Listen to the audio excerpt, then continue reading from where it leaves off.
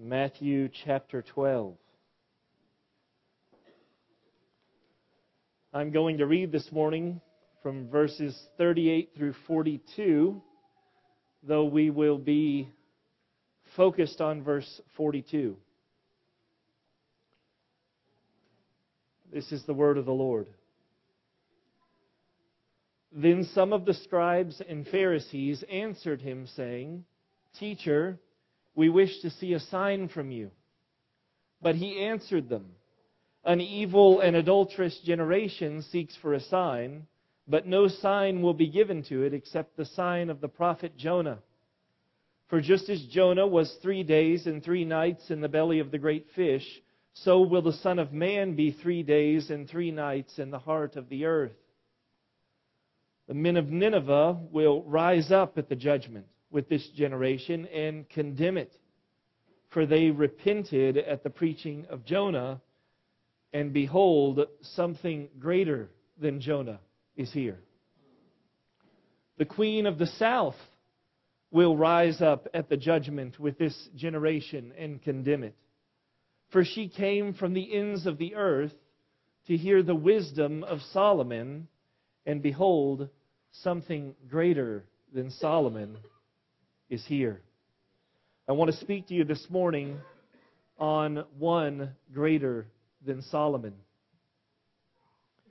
I've broken the message into three parts, some introductory comments just to set the stage so we can rightly understand this passage before us, and then I'll give some historical background, some Old Testament help from the book of Second Chronicles. And then I'll make application, draw application from the text. Four things I want to say about verse 42. So let me pray. Father, you are the divine author of Scripture. You are the divine author and finisher of our faith. Lord, in reality, you're the author of everything. You're accomplishing all your purposes. You do all your holy will. We are your subjects, merely created beings. As Mac spoke to the children, sin is in us. Lord, we are those that need to be redeemed. And then, as redeemed vessels, we need to be washed and purified and sanctified. Father, come. Give help to us now that we could truly understand the Scriptures and that in them we could find meat and drink. Come, Holy Spirit, illumine minds, quicken every human heart. Father, we plead with you to save the unconverted before it's too late. And we ask this in Jesus' name. Amen. Introductory comments. Let's just walk through a refresher of the life of Jesus Christ on display for us, not in one gospel, but in four gospel accounts.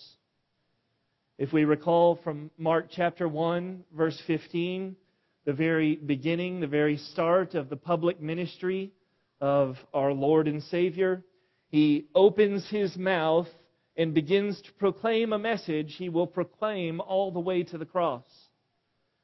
And the message is this He says, The time is fulfilled, the kingdom of God is at hand. Repent and believe in the gospel. That's where Jesus starts, that's where Jesus finishes. It's one message for all time. Our Savior is extremely clear. The call to every man today, Darius could read it from Acts 17. Matt could share it with the little children this morning. The call to everyone today is still the same repent and believe the gospel. This is the only way a dead man, one sold into slavery in sin, can be made alive, can be made a new creature, can know the forgiveness of sins. It's not through sacraments, it's not through religious behavior. It is through the power of Jesus Christ to rescue sinners. This is how Jesus begins.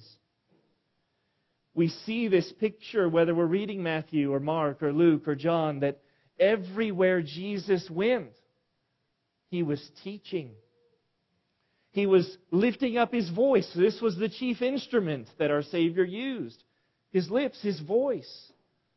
He was being heard. He was teaching the people. He was healing many. He was calling all men to come to him. Matthew captures this in the fourth chapter, where he says, And he went throughout all Galilee, teaching in their synagogues and proclaiming the gospel of the kingdom and healing every disease and every affliction among the people. This was the ministry of our Lord. But how was his ministry received? Was he applauded as the great and long anticipated hero in Israel? No, he was not. Did that rejection deter him in his mission? No, it did not. Think of the inviting way as Jesus was teaching, whether it was the Sermon on the Mount or the Sermon in the Plain, whether it was a sermon to few or a sermon to multitudes. Think of the inviting way Jesus describes to his hearers why he came from heaven in the first place. John 10:10 10, 10, I came that they might have life and have it abundantly. Luke 19:10 for the son of man came to seek and to save the lost. John 12:46 I have come into the world as a light so that whoever believes in me may not remain in darkness. Matthew 9:13 I came not to call the righteous but sinners to repentance. Jesus was open as to why he came. He was open as to why he was doing what he was doing. He must speak. He must lift up his voice because this is the reason why he came. This is the reason why God sent him. And, and he didn't come speaking harshly to needy sinners. He came with warm compassion. He came with tender invitations. Now, he spoke harshly at times, didn't he? And it was to needy sinners. But it was to a certain type of needy sinner. Those that were extremely religious, well versed in the scriptures, even. It was to them that he had the harshest words, the most condemning speech. But generally, to the needy neighbor, to the afflicted, impoverished Jerusalem resident, Jesus had tender words of affection. Think of the many compassionate invitations that the Lord Jesus gave, calling people to come to him.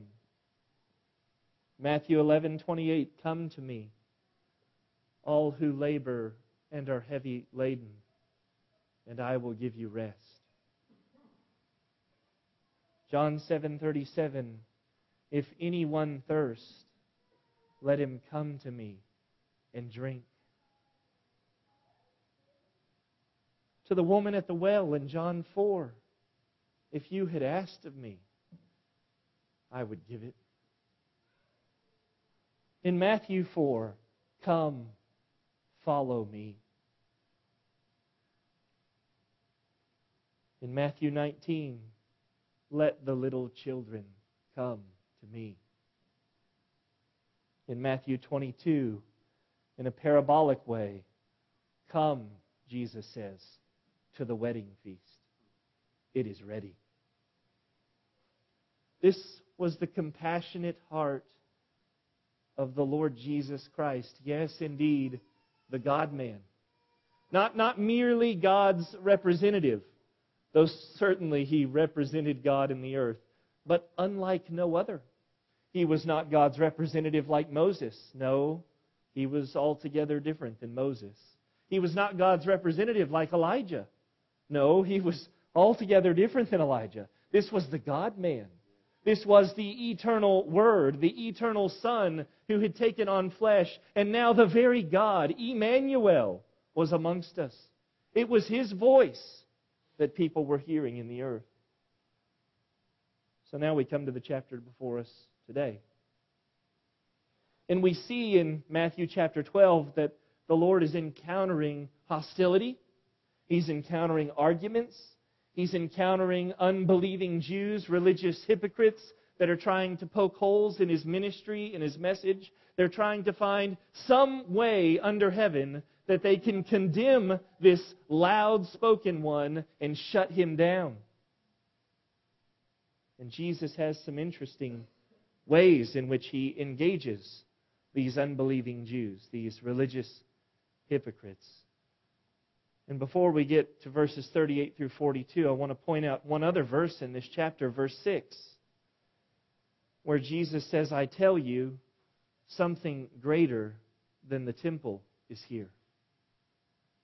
Now, why am I pointing that out?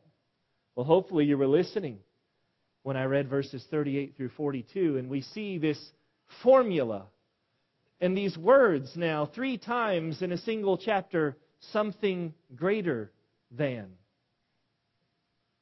And Jesus speaks of three things. In verse 6, he speaks of something greater than the temple. What, what's so special about the temple? Well, the temple was ultra special in the eyes of Israel, wasn't it? There really wasn't anything more special or more cherished. And why? Was it the gold? Was it the sacrifices? No. This was where God had said he would dwell among them. So when we think of the temple in the eyes of Israel, we have to see that this was the heart of their worship. This was the center of religious worship in their day. Why? Because God had promised to dwell there. Well, Jesus now says, wait a minute, something greater than the temple is here. He's not concerned about buildings anymore. He doesn't need this special kind of worship and sacrifice. He's here in the flesh. It's not about Jerusalem anymore. I am God Almighty. I'm among you. Something greater than the temple is here. And then we see in verse 41, Jesus makes another comment following the formula, something greater than, and it's something greater than Jonah is here. Now, when we think of Jonah, it's such a, a short book, a minor prophet, four chapters, but I think all of us are familiar enough with the story to where we see one who was sinfully disobedient. And upon his sinful disobedience and his flight from the will of God and the purposes of God, He's swallowed by a great fish. The text in the New Testament tells us, make a note, Jesus has no problem with the story of Jonah. And then God radically delivers this prophet. It's pretty radical, isn't it? Spit out on the beach, there to preach to Nineveh. And then he's wonderfully used. So Jonah does stand out amongst prophets in a few different ways. And Jesus says, something greater than Jonah is here. You mean Jonah who preached in Nineveh and they all repented? Yes, something greater than Jonah is here. Jesus Christ is the prophet of prophets. Jonah was proclaiming God's truth. Jesus says, I am God's truth. I stand among you. And then we come to the third use of this formula something greater than. And that's our text today. Something greater than Solomon is here. Greater than Solomon? yes, greater than Solomon. Who's Solomon? Oh, just the most wise, knowledgeable, and prosperous king in the Old Testament. In all of Israel's history, he would be looked at as the one who had the purest, brightest, most peaceful reign. Yes, that Solomon, a great king. Something greater than Solomon is here. Solomon ruled a Near Eastern country for the space of 40 years. Jesus Christ says, I am the King of Kings. I am the King of the universe. I have ruled what you know is the universe from the beginning. Something greater than Solomon is here. Couple other notes and then we're going to dig into some background. It seems that in verses 41 and 42, the, the back to back statements of something greater than, that it's almost as if Jesus is working from a lesser example to a greater example. And why is that? Well, in the example of Jonah, whom God sent to go preach repentance to the Ninevites, what's the picture? God raises up the prophet, sends the prophet to the pagan city, he preaches there, God gives tremendous results, the people repent. But a prophet is sent to them. And then the greater example a queen from the south. No prophet is sent to the queen.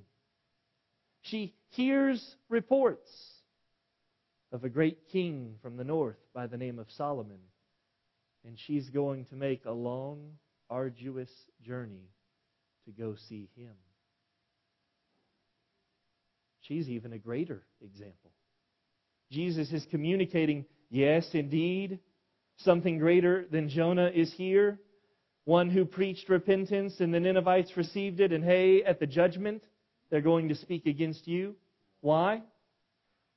Because they heeded God's word and repented. The queen of the south will one day stand in judgment against you. Why? Here's the greater example because she sought Solomon out. And when she saw him, when she heard his wisdom, she embraced every ounce of it. That's why she'll stand in judgment against you. Two things are coupled together here repentance and then a seeking of the Lord, of believing in Him. The audience that Jesus was communicating these things to are refusing His truth. They're rejecting His ministry. And Jesus rebukes them in the text before us today. Turn in your Bibles to Second Chronicles chapter 9. Let me give some Old Testament background on who the Queen of the South is and what Jesus is really communicating here. Remember, he's speaking to a people that knew exactly who the Queen of the South was. They had read Second Chronicles 9 in the Tanakh many times. Maybe some of them had it memorized. I'll read the first nine verses. Now, when the queen of Sheba heard of the fame of Solomon, she came to Jerusalem to test him with hard questions, having a very great retinue and camels bearing spices and very much gold and precious stones. And when she came to Solomon, she told him all that was on her mind. And Solomon answered all her questions. There was nothing hidden from Solomon that he could not explain to her. And when the queen of Sheba had seen the wisdom of Solomon, the house that he had built, the food of his table, the seating of his officials, and the attendance of his servants, and their clothing, his cupbearers and their clothing, and his burnt offerings that he offered at the house of the Lord, there was no more breath in her. And she said to the king, the report was true that I heard in my own land of your words and of your wisdom. But I did not believe the reports until I came and my own eyes had seen it. And behold, half the greatness of your wisdom was not told me. You surpass the reports that I heard. Happy are your wives Happy are these your servants who continually stand before you and hear your wisdom. Blessed be the Lord your God who has delighted in you and set you on his throne as king for the Lord your God. Because your God loved Israel and would establish them forever, he has made you king over them, that you may execute justice and righteousness. Then she gave the king a hundred and twenty talents of gold, nine thousand pounds of gold, and a very great quantity of spices and precious stones. There were no spices such as those that the Queen of Sheba gave to King Solomon. Jesus refers to her as the Queen of the South, who came from the ends of the earth to see Solomon. And we understand that the Queen of the South is indeed the Queen of Sheba when we see these phrases that are hyperbole or idioms from the ends of the earth, Jesus says, we understand him to mean that she traveled extremely long distance to see this king. This is not a neighboring sovereign. By the best accounts of reputable church historians, they understand that Sheba was likely a territory in Arabia, possibly modern day Yemen, possibly in Ethiopia. If either of these three locations are accurate, this queen traveled between 1,200 and 1,600 miles to see King Solomon in his day. Rough terrain, leaving her own kingdom, she travels because she's heard reports of this great ruler. You read Second Chronicles 9 and it's it's fabulous because you can see that she has come loaded with a lot of questions. Right? And, and from the get go, we see that she told him all that was on her heart.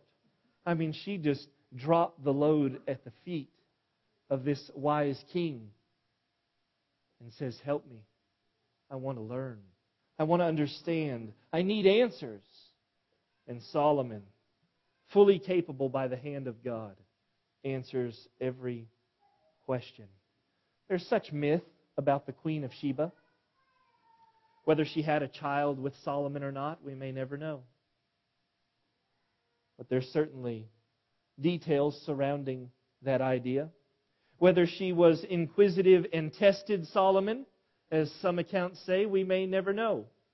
But there is an account where she came and brought before Solomon two pots with flowers, both beautiful, one a living flower, one not. It was fake. And she said, Tell me which one is the real one. And Solomon, in his wisdom, said, Open the windows. Windows were opened, and the bee came in and rested on the living flower. And he said, That's the one. If that's a real account, we don't know. We get glimpses in the Old Testament scriptures of Solomon's wisdom. We have factually from the mouth of God that Solomon is indeed the wisest king to ever live. What was it that sparked this interest in this queen of the south to make such a journey in the first place? Well, the scriptures tell us. Both Jesus tells us, and here in this account of Second Chronicles, we see that she heard of the fame or the wisdom of Solomon. Likely, this took place through traders that were visiting her land. Ships coming in and off the coast, reports from distant kingdoms shared amongst the people, amongst the traders. And here this name keeps popping up Solomon, king of Israel. She's intrigued, intrigued enough to leave her kingdom, travel 1,200 to 1,600 miles to see him. And when she sees him, when she hears his wisdom, when she unloads all her cares and inquiries before him and finds answers and finds solace and finds knowledge, she stands amazed. I love the ESV translation. At the end of verse 4, there was no more breath in her. That does not mean she was exhausted of speaking. That means she was lost in amazement and didn't even know what to say. And then, if we didn't get the ending of verse 4, she clarifies in her own verbal report in verse 6 You surpass the report that I heard. There's the history in the Old Testament background. Turn back with me to Matthew chapter 12. Why do we need all that? It's so we can rightly understand what Jesus is communicating to a group of unbelieving Jews in his own day. I'll read the verse again. The queen of the south will rise up at the judgment with this generation and condemn it. For she came from the ends of the earth to hear the wisdom of Solomon, and behold, something greater than Solomon is here. There's four truths I want to draw from the text, and you could write them down, and I'll expand upon them. Four words that I'll elaborate on. Number one, unbelief. Number two, beauty. Number three, necessity. Number four, urgency. When we think of unbelief, we see it now, I hope, in the context. Why is Jesus even responding this way? It's because he's responding to unbelieving Jews that are hearing him speak, that are seeing his ministry, that are following his life, and yet they are rejecting him. As the prophet Isaiah prophesied, we esteemed him not. He was despised and rejected by men. It's as if Jesus is saying to them in this text, You don't even have to take a journey. I'm standing here before you, and you still don't care. In some sense, hearers, Jesus Christ in His Word this morning is standing here before you. Do you care? Will you hear Him? There's a phrase, seeing is believing. And in some sense, when we read 2 Chronicles 9, that seems to be true for the Queen of the South, doesn't it? I, I didn't believe the reports that I heard back at home. But now that I have come, that I've seen you, I believe. And I didn't even hear half of the greatness of you, King Solomon. But seeing isn't always believing, is it? Because here, these unbelieving Jews are beholding one greater than Solomon and they want nothing to do with him. And, and not just that, they want to crucify him. They are listening here and in their hearts and minds plotting how they might kill this man, destroy his ministry. Well, unbelief has always been prevalent in the world. Ever since the incident that Max spoke of in Genesis 3 with the fall, unbelief has been alive and well. Today, it is no different than it was in Jesus' day. We, as humankind, are no better off today in the realm of faith and believing Christ than we were in Jesus' day. He was speaking to unbelieving Jews in his context, and today we speak to unbelieving Americans in our context. Whether that's family members, whether that's co workers, rather than that's those that even visit our congregation on a Sunday morning. Today, men are ignoring Jesus Christ. They are smearing Jesus Christ. They are hating Jesus Christ. They are refusing to believe in the gospel that Jesus Christ so faithfully proclaimed. Unbelief is all around us. Nothing new under the sun. And so we shouldn't be surprised, saints, when we're surrounded by unbelief. Our Savior was surrounded by unbelief. We should not be weary and discouraged when we are surrounded by mockers and haters and persecutors. For our Lord said that if they despised me, if they hated me, they will hate you. I send you out as sheep amongst wolves. Be on guard. The amazement really shouldn't be that in the 21st century American context, there are so many atheists we should be amazed that there aren't more. God is merciful. He's saving atheists in the earth today.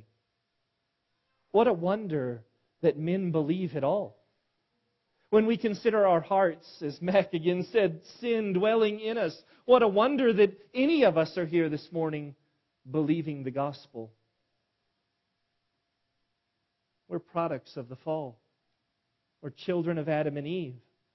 And every one of us, down to the sweetest, tenderest, littlest baby, is infected with this deadly disease. Seeing unbelief may grieve us, saints, but it should never surprise us. Unbelief is everywhere. Secondly, beauty. I'm not talking about beauty that surrounds us everywhere. I'm talking about the surpassing beauty of Jesus Christ. We, we get that in the text. If, if we go back and we read 2 Chronicles 9 or 1 Kings 10, then we're, we're going to see what Jesus meant when he said, Something greater than Solomon is here. Something more glorious than the most glorious Israelite king is among you right here and now. The phrase is, There was no more breath in her. The exclamation, You surpassed the report that I heard. These indicate that Solomon was rather awesome. And Jesus says, Indeed, he was. I made him that way, but something greater than Solomon is here.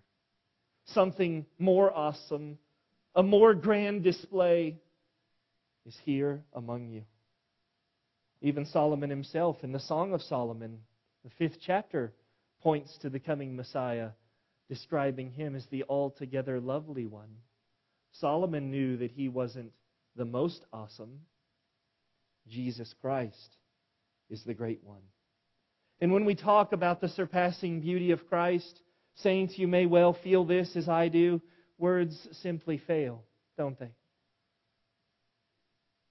The most eloquent man could paint the brightest, clearest, most wonderful portrait for us today of who our Savior is in His person, in His works, in His glory, in His beauty.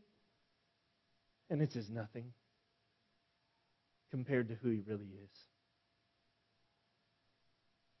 But let's contrast together Solomon and the Lord Jesus Christ. And yes, I said contrast.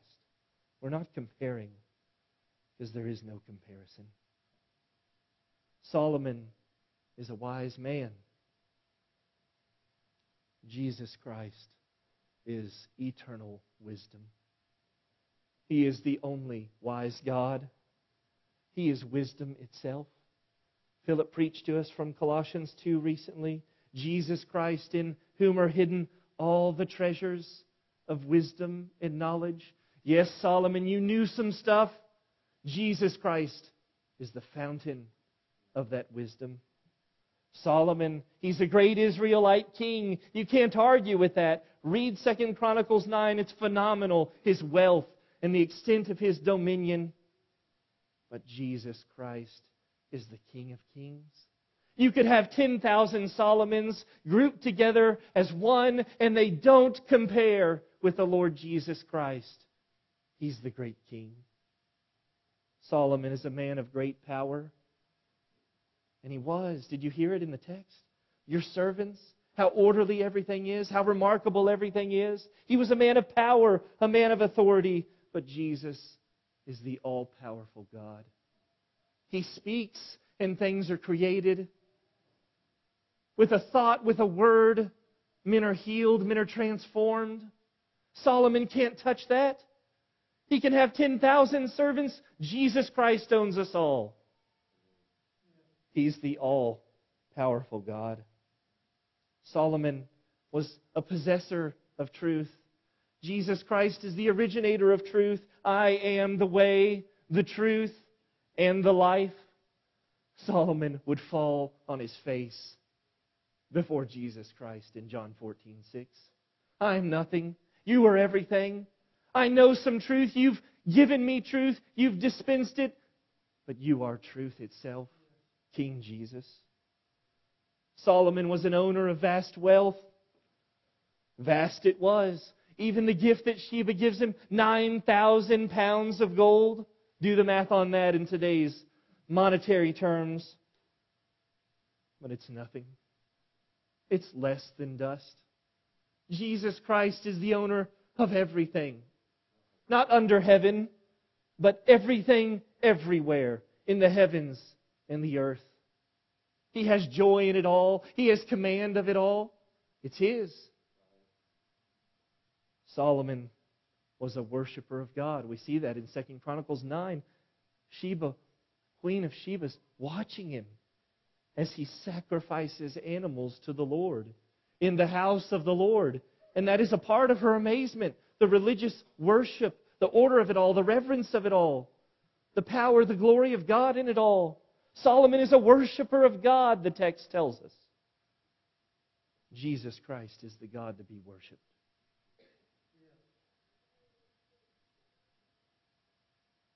Solomon is an intelligent man. He's an impressive man. Jesus Christ is the perfect God man and the Savior of the most impressive men. There's an illustration that I've shared with several of you, a few of you yesterday, as a matter of fact. And it's the story of William Montague Dyke. This on the heels of the wedding just seemed right. When William Montague Dyke was 10 years old, he was blinded in an accident. Despite his disability, William graduated from a university in England with high honors. While he was in school, he falls in love with the daughter of a well known naval captain, and they become engaged to be married. Not long before the wedding, William has an eye surgery, cutting edge, in the hope that the operation would again restore his sight. If it failed, the determination from the doctor is that he would remain blind the rest of his life. William insisted on keeping the bandages on his face until his wedding day. If the surgery was successful, he wanted the first person he saw to be his bride. The wedding day arrived. The many guests, including royalty, cabinet members, distinguished men from England, women of society, they all assembled together to witness this exchange of vows. William's father, Sir William Hart Dyke, and the doctor who performed the surgery stood next to him, his eyes still covered with bandages. The organ trumpeted the wedding march. The bride slowly walked down the aisle to the front of the church. As soon as she arrived at the altar, the surgeon took a pair of scissors and he cut the bandages from William's eyes. Tension filled the room. The congregation of witnesses held their breath as they awaited to find out if William could see the woman who was his bride to be.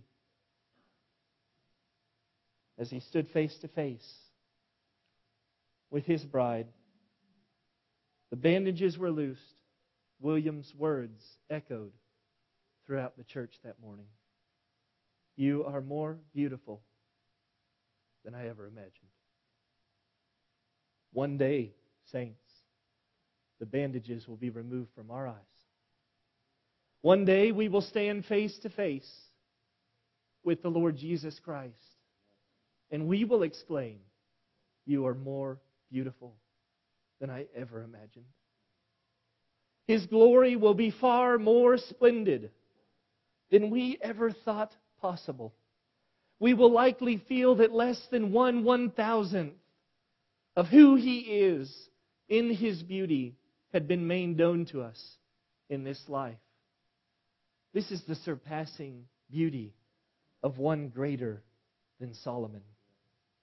Thirdly, necessity was the word that I gave the necessity of seeking the Lord and believing Him.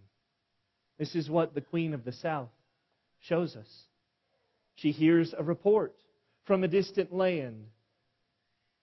She doesn't necessarily believe it all. Sounds too fanciful. I can't even imagine there is such a king in the earth. But I must go to see him. Whatever it costs me, however long the journey is, I must go and see him. And when she gets there, she doesn't reject. She doesn't despise. She doesn't minimize. But she is grateful to the point of giving vast wealth as a gift, to the point of her exclamation, You surpass the reports that I heard. She embraces it all. And this is the Queen of the South that Jesus gives us as an example. The necessity of seeking the Lord and believing him. This phrase in verse 42, three words, for she came, they just struck my heart. over the past week. For she came. She traveled a long distance to hear Solomon's wisdom, to see him for herself. For she came. She overcomes a hundred hindrances, a thousand hindrances, leaving her own kingdom to come and see Solomon, for she came. In response to hearing about a lesser light, she came. No invitation, no promised reception, but she came. She could say, I didn't believe the reports, but I knew I had to come. And now that I've come, I'm amazed and believe it all. Let's contrast together the Queen of Sheba and the unbelieving Jews. Queen travels a long, dangerous journey while the Jews were nearby. Remember Jesus' words in Matthew 26 Day after day, I sat in the temple teaching, and you did not arrest me. Secondly, she came to listen to what is ultimately, though a great vessel, an imperfect vessel. And we that know Solomon understand what that means. Yet the unbelieving Jews had access to God in the flesh. One not just greater than Solomon, but infinitely greater than Solomon. One who was perfection. Third, she had only heard second-hand reports. Yet the unbelieving Jews had the long enjoyment of the Scriptures as God's covenant people. They had many religious advantages. This is what Paul describes in Romans 9. They are Israelites, and to them belong the adoption, the glory, the covenants, the giving of the law, the worship, and the promises. To them belong the patriarchs, so on and so forth. All the religious advantage in the world. And here comes Emmanuel, and they reject him. She had no invitation to come. And they had the pleadings and invitations of the Messiah. She saw much more in Solomon than what had been reported. And the unbelieving Jews see much less in Jesus than what he was saying and what he was living among them. They condemned him. She praised Solomon. Sixthly, she gave of her wealth, great gifts, being so grateful because Solomon had received her, had taught her, had listened to her. The unbelieving Jews are busy plotting to kill the God man in their midst. The final analysis is this the queen of the south sought out Solomon and embraced his wisdom and his greatness. And the unbelieving Jews rejected and despised the King of the universe who had come to them. He came unto his own, and his own believed him not. While the queen hastens to Solomon, the unbelieving Jews withdraw from Jesus. The queen of Sheba travels far and knocks on Solomon's door for reception. The Jews had Jesus among them, knocking at their door, and they would not open, and they would not listen. An anonymous early church father said she, merely hearing of Solomon's reputation, desired to see him. They, witnessing the truth of Christ, walked away. Fourthly, finally, urgency. Where's the urgency in the text? Jesus uses plain language. He introduces verse 42 by saying, The queen of the south will what? Rise up at the judgment with this generation and condemn it. Why? Because they are guilty of not seeking the Lord and not believing Him. They are guilty of rejecting the Messiah that had come to seek and to save that which was lost. And this is the attitude in our day. Why urgency? Because there's a coming judgment. The attitude among men seems to be, I have plenty of time. My judgment day may be someday, but it's not today. But time is fleeting. Tomorrow is not promised. And the text clearly states that there is a judgment day coming. Jesus says, Remember the Ninevites, remember the Queen of the South, and unbelieving Jews picture them standing there at your condemnation, pointing the finger. Why? Because you would not repent. Why? Because you did not seek the Lord. Why? Because you did not believe in the gospel. This is what Jesus is urging upon his hearers. This is the context of the passage. It's as though Jesus in John 28, or John 8, excuse me, 24, is saying, For unless you believe that I am He, you will die in your sins. If you will not repent and believe the gospel, if you will not be saved, if you would rather die in your sins, then this is the very thing you should expect. The Queen of the South will be pointing at you. But won't you turn to Christ today? Won't you believe? Are not his invitations warm and full of tenderness? Is not he as ready to be received today as he was 2,000 years ago? Does Jesus Christ not receive sinful men? Believe on the Lord Jesus Christ, and you will be saved.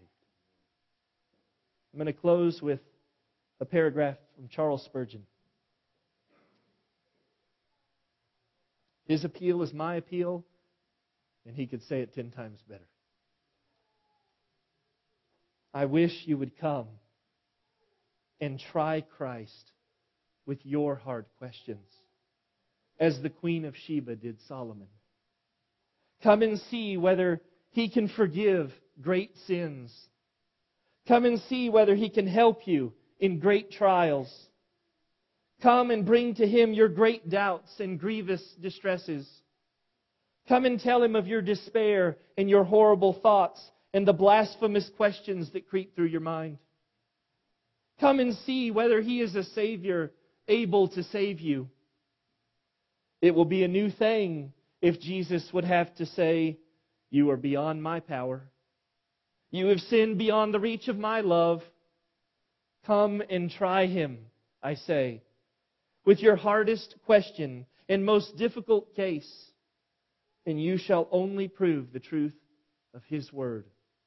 He that comes to me, I will never cast out. Come to Jesus, the one greater than Solomon. Come today.